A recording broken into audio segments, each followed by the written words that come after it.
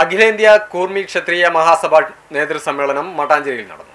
അഖിലേന്ത്യാ general secretary doctor Uttam P Singh സമ്മേളനം ഉദ്ഘാടനം ചെയ്തു.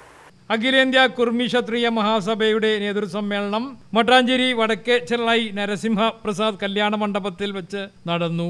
അഖിലേന്ത്യാ general secretary doctor Uttam P Singh സമ്മേളനം ഉദ്ഘാടനം ചെയ്തു.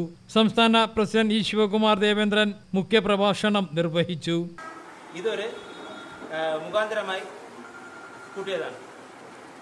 ഇപ്പം ദേശീയ general secretary doctor P Singh ji ഇവിടെ വന്നേക്കുന്നപ്പോൾ നമ്മൾ ആവശ്യപ്പെട്ടത് ഇവിടെ സംഘടനകളല്ല സമുദായമാണ് വളരേണ്ടത്.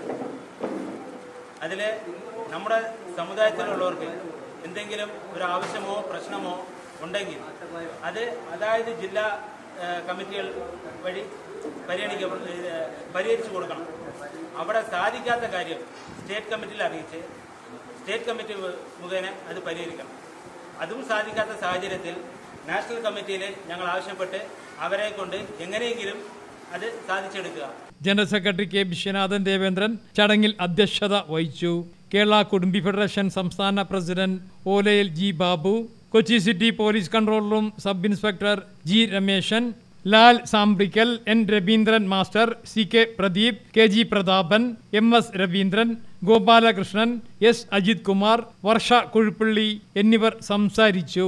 News bureau Mattancherry.